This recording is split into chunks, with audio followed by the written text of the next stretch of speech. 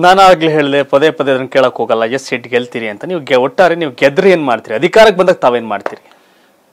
ಕರ್ನಾಟಕದ ಭವಿಷ್ಯ ಹೇಗಿರಬೇಕು ಅಂತ ನಾವು ಈಗಾಗಲೇ ಒಂದು ಪ್ರಣಾಳಿಕೆಯನ್ನು ರಚನೆ ಮಾಡಿದ್ದೀವಿ. ಹ್ಮ್.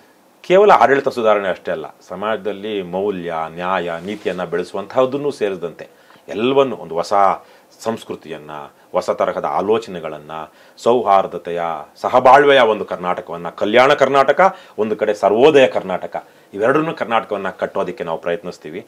ಆಡಳಿತ ರಾಜಕಾರಣ ಅಂದ ತಕ್ಷಣ ಕೇವಲ ಆಡಳಿತ ಮಾತ್ರ ಅಲ್ಲ. ಇನ್ನು ಆಡಳಿತದ ವಿಚಾರಕ್ಕೆ ಬರೋದಾದರೆ, ತೆರಿಗೆ ಹಣ ಎಲ್ಲೂ ಪೋಲಾಗಬಾರ್ದು. ಪ್ರತಿಯೊಂದೂ ಸದ್ವಿನಿಯೋಗ ಆಗಬೇಕು. ಸರ್ಕಾರಿ ಹುದ್ದೆಗಳಲ್ಲಿ ಈಗಾಗಲೇ ಮೂರು ಲಕ್ಷ ಸರ್ಕಾರಿ ಹುದ್ದೆಗಳು ಖಾಲಿ ಇದೆ. ನಮ್ಮ ರಾಜ್ಯದಲ್ಲಿ ನಿರುದ್ಯೋಗ ಆಗಲೇ ಹೇಳ್ದಂಗೆ ಪಿ ಯು ಸಿ ಓದಿರುವಂಥ ಕ್ವಾಲಿಫಿಕೇಷನ್ಗೆ ಪಿ ಎಚ್ ಡಿ ಬರೆದಿರೋ ರೋಗಿ ಇವತ್ತು ಕಾನ್ಸ್ಟೇಬಲ್ಗಳಾಗ್ತಾ ಇದ್ದಾರೆ. ಮೂರು ಲಕ್ಷ ಸರ್ಕಾರಿ ಹುದ್ದೆಗಳು ಖಾಲಿ ಇದೆ. ಪ್ರಾಮಾಣಿಕವಾಗಿ ಯಾವುದೇ ರೀತಿಯ ಭ್ರಷ್ಟಾಚಾರ ಏನು ನೀವು ಹೇಳಿದ್ರಲ್ವ, ಇಪ್ಪತ್ತು ವರ್ಷದಿಂದ ರಾಜಕಾರಣಕ್ಕೆ ಏನು ಅಂತ?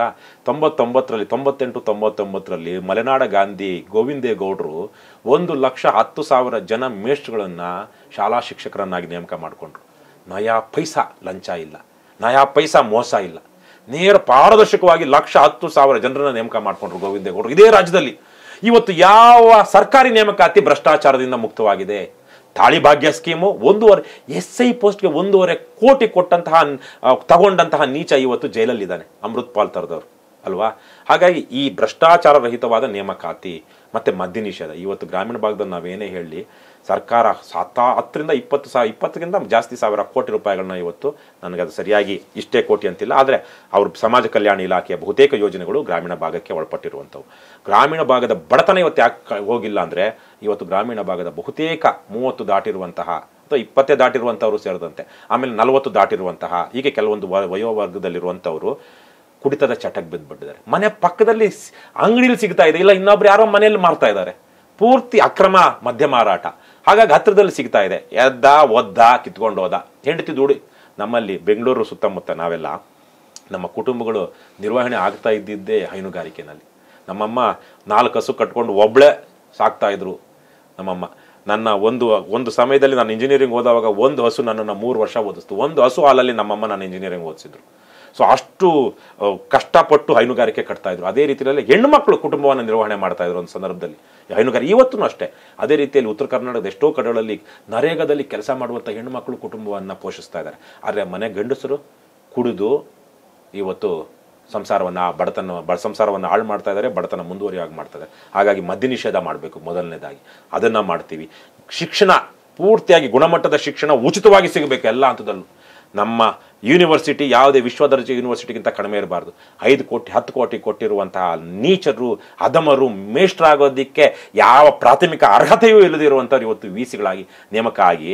ವಿ ಸಿ ಕೆಲಸ ಅಂದರೆ ಶಿಕ್ಷಣ, ಪರೀಕ್ಷೆ, ಮಕ್ಕಳಿಗೆ ಒಂದು ಹೊಸದಾದ ಯಾವುದೋ ಒಂದು ಕನಸು, ಆದರ್ಶ ಅಲ್ಲ.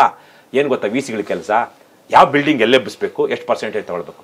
ಪಿ ಡಬ್ಲ್ಯೂ ಡಿ ಮಿನಿಸ್ಟ್ರು ಎಷ್ಟು ಹಲ್ಕಾನೋ ಅಷ್ಟೇ ಹಲ್ಕ ಇವತ್ತು ವಿ ಸಿಗಳು ವಿ ಸಿ ಆಗೋದೇ ಬಂಡವಾಳ ಹಾಕಿ ಇಪ್ಪತ್ತು ಕೋಟಿ ಮೂವತ್ತು ಕೋಟಿ ಐವತ್ತು ಕೋಟಿ ಬರುತ್ತೆ ಕಾಂಟ್ರಾಕ್ಟ್ ಕೆಲಸ ಮಾಡಿಸೋಣ. ಕಾಂಟ್ರಾಕ್ಟ್ಗಳು ಇವತ್ತು ವಿ ಸಿಗಳಾಗ್ತಾ ಇದ್ದಾರೆ ಹಾಗಾಗಿ ಶಿಕ್ಷಣ ಆರೋಗ್ಯ ಪ್ರತಿ ಜಿಲ್ಲೆಗೂ ಒಂದು ಸರ್ಕಾರಿ ಮೆಡಿಕಲ್ ಕಾಲೇಜ್ ಇರಬೇಕು. ಪಾವಗಡ ಅಂತ ಒಂದು ತಾಲೂಕಿದೆ ನಮ್ಮ ರಾಜ್ಯದಲ್ಲಿ. ಪಾವಗಡಕ್ಕೆ ಹತ್ತಿರದ ಸರ್ಕಾರಿ ಮೆಡಿಕಲ್ ಕಾಲೇಜ್ ಇರುವಂಥ ಆಸ್ಪತ್ರೆ ಅಂದರೆ ವಿಕ್ಟೋರಿಯಾ ಆಸ್ಪತ್ರೆ. ಸರಿಯಾಗಿ ಅಲ್ಲಿಂದ ಇಲ್ಲಿಗೆ ನಾಲ್ಕರಿಂದ ಐದು ಗಂಟೆ ಬೇಕು ಪಾವಗಡ ತಾಲೂಕಿನಿಂದ ಬೆಂಗಳೂರಿಗೆ ಬರೋದಕ್ಕೆ. ಯಾಕೆ ತುಮಕೂರಿನಲ್ಲಿ ಯಾಕೆ ಮೆಡಿಕಲ್ ಕಾಲೇಜ್ ಇಲ್ಲ? ಕೋಲಾರದಲ್ಲಿ ಯಾಕಿಲ್ಲ ದಾವಣಗೆರೆಯಲ್ಲಿ ಯಾಕಿಲ್ಲ ಚಿತ್ರದುರ್ಗದಲ್ಲಿ ಯಾಕಿಲ್ಲ ಬಾಗಲಕೋಟೆಯಲ್ಲಿ ಯಾಕಿಲ್ಲ ಬಿಜಾಪುರದಲ್ಲಿ ಯಾಕಿಲ್ಲ ದಕ್ಷಿಣ ಕನ್ನಡದಲ್ಲಿ ಮಂಗಳೂರಲ್ಲಿ ಯಾಕಿಲ್ಲ ಉಡುಪಿಯಲ್ಲಿ ಹಾಕಿಲ್ಲ. ಯಾಕಿಲ್ಲ ಅಂದ್ರೆ ಖಾಸಗಿ. ಖಾಸಗಿ ಯಾರು ಖಾಸಗಿ ಅವರು ರಾಜಕಾರಣಿಗಳು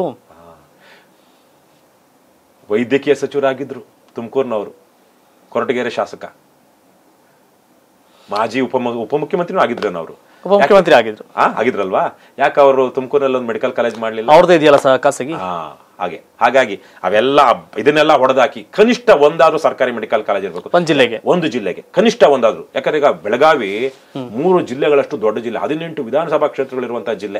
ಅಲ್ಲಿ ಒಂದು ಮೆಡಿಕಲ್ ಕಾಲೇಜ್ ಇಟ್ಟರೆ ಅಲ್ಲಿ ಚಿಕ್ಕೋಡಿಯಿಂದ ರಾ- ಕುಡ್ಚಿಯಿಂದ ಬೆಳಗಾಂ ಬರೋ ಅಷ್ಟೊತ್ತಿಗೆ ಎಂಥವ್ರು ಹರನಮ್ಮ ಪಾರ್ವತಿ ಪತಿ ಹರಹರ ಮಹಾದೇವ ಶಂಭು ಆಗ್ಬಿಟ್ಟಿರ್ತಾರೆ. ಹಾಗಾಗಿ ಹತ್ರದಲ್ಲಿ ಅರ್ಧ ಗಂಟೆಗೆ ನಾನು ಅಮೇರಿಕದಲ್ಲಿದ್ದಾಗ ಹೇಳ್ತಾ ಇದ್ರು ಗೋಲ್ಡನ್ ಪೀರಿಯಡ್ ಒಂದು ಹಾರ್ಟ್ ಅಟ್ಯಾಕ್ ಆದಾಗ ಮೂರಿಂದ ನಾಲ್ಕು ನಿಮಿಷದೊಳಗಡೆ ಅವ್ರಿಗೆ ಅಟೆಂಡ್ ಮಾಡಿದ್ರೆ ಅವ್ರನ್ನ ಬದುಕಿಸ್ಕೊಳ್ಬಹುದು ಅಂತ.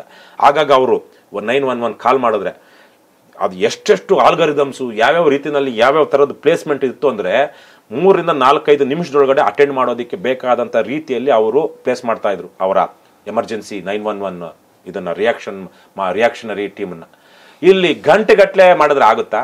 ಹಾಗಾಗಿ ಪ್ರತಿ ತಾಲೂಕಿನಲ್ಲಿ ಸೂಪರ್ ಸ್ಪೆಷಾಲಿಟಿ ಆಸ್ಪತ್ರೆ ಇರಬೇಕು. ಪ್ರತಿ ತಾಲೂಕಲ್ಲಿ ಇರಬೇಕು ಐ ಸಿ ಯು ಸಮೇತವಾಗಿ ಇರುವಂತಹದ್ದು ಪ್ರತಿ ಗ್ರಾಮ ಪಂಚಾಯತಿನಲ್ಲಿ ಒಂದಾದ್ರೂ ಕನಿಷ್ಠ ಐ ಸಿ ಯು ಬೆಡ್ ಇರಬೇಕು. ನೀವು ಹಬ್ಬ ಬಂದ್ರೆ ಹತ್ತು ಹದಿನೈದು ನಿಮಿಷ, ಇಪ್ಪತ್ತು ನಿಮಿಷದಲ್ಲಿ ನಮ್ಮ ಗ್ರಾಮ ಪಂಚಾಯತಿ ಕೇಂದ್ರಕ್ಕೆ ಹೋಗ್ಬೋದ ನಾವು? ಏನಾಗಿದೆ ನಮ್ಮಲ್ಲಿ? ಎಷ್ಟು ಸಂಪನ್ಮೂಲಗಳಿದೆ, ಎಷ್ಟೆಲ್ಲ ಇದೆ ಸಂಪನ್ಮೂಲಗಳು. ಸರಿಯಾಗಿ ವಿನಿಯೋಗ ಆಗ್ತಾ ಇಲ್ಲ. ಹಾಗಾಗಿ ಸಾಮಾಜಿಕ ನ್ಯಾಯ ಅಥವಾ ಈ ತರಹದ ಅಭಿವೃದ್ಧಿ ಅತಿ ದೊಡ್ಡ ಶತ್ರು ಅಂದ್ರೆ ಭ್ರಷ್ಟಾಚಾರ. ಭ್ರಷ್ಟಾಚಾರವನ್ನು ಕೊನೆಗಾಣಿಸೋದಕ್ಕೆ ಲೋಕಾಯುಕ್ತ ಬೇಕು. ಬಲಿಷ್ಠವಾದ ಲೋಕಾಯುಕ್ತ ಬೇಕು. ಇವತ್ತಿರುವಂತಹ ಲೋಕಾಯುಕ್ತದರಾದ ಏನು?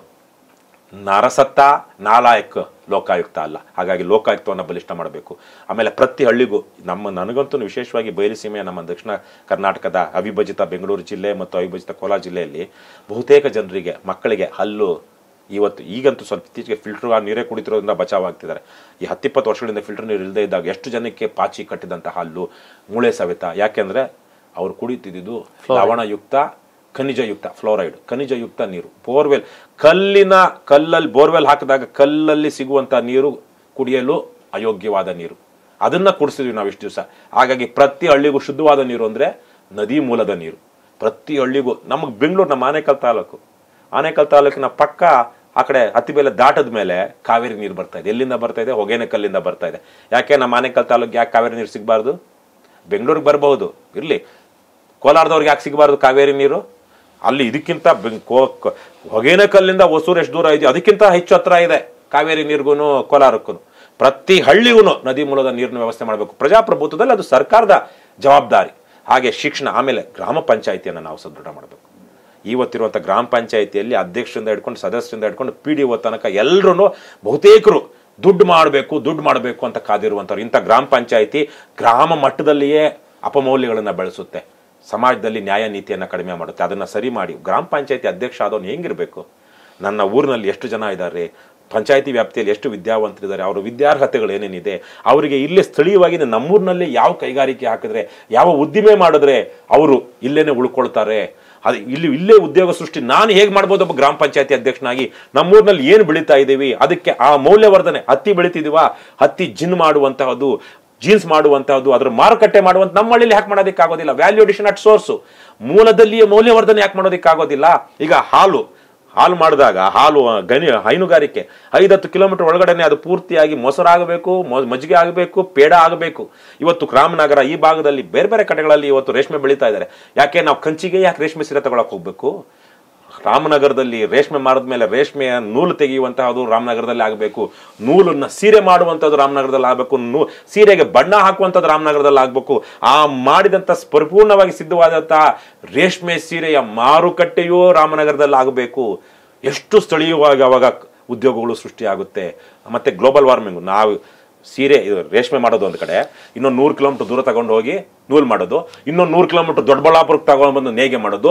ಅಲ್ಲಿಂದ ಇನ್ನೂರೈವತ್ತು ಕಿಲೋಮೀಟರ್ ಕಂಚಿಗೆ ತಗೊಂಡೋಗಿ ಮಾರು ಮಾರ್ಚ್ನಲ್ಲಿ ಕರ್ನಾಟಕದ ಟ್ರೆಂಡ್ ಹೇಗಿದೆ? ಬಿಜೆಪಿ ಮತ್ತೆ ಅಧಿಕಾರಕ್ಕೆ ಬರುತ್ತಾ? ಕಾಂಗ್ರೆಸ್ ಕತೆ ಏನಾಗುತ್ತೆ? ಜೆ ಡಿ ಎಸ್ಗೆ ಎಷ್ಟು ಸೀಟ್ ಬರುತ್ತೆ? ರಾಜ್ಯದ ಮತದಾರರ ಚಿತ್ತ ಯಾರತ್ತ? ರೆಡ್ಡಿ ಪಾರ್ಟಿ, ಆಮ್ ಆದ್ಮಿ ಪಾರ್ಟಿಯ ಹಣೆ ಬರಹ ಏನು? ಕರ್ನಾಟಕ ಟಿವಿಯಲ್ಲಿ ಮಾರ್ಚ್ ತಿಂಗಳ ಮೆಗಾ ಸರ್ವೆ. ರಾಜಕೀಯ ವರದಿ ಅಂದ್ರೆ ಕರ್ನಾಟಕ ಟಿವಿ.